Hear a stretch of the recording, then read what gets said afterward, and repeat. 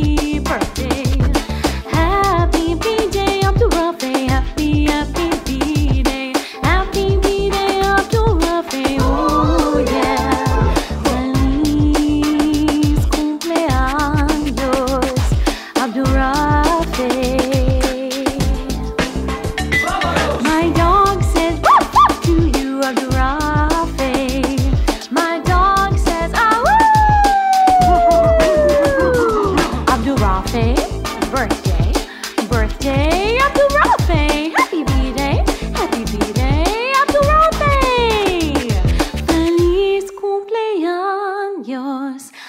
Rafe, yeah.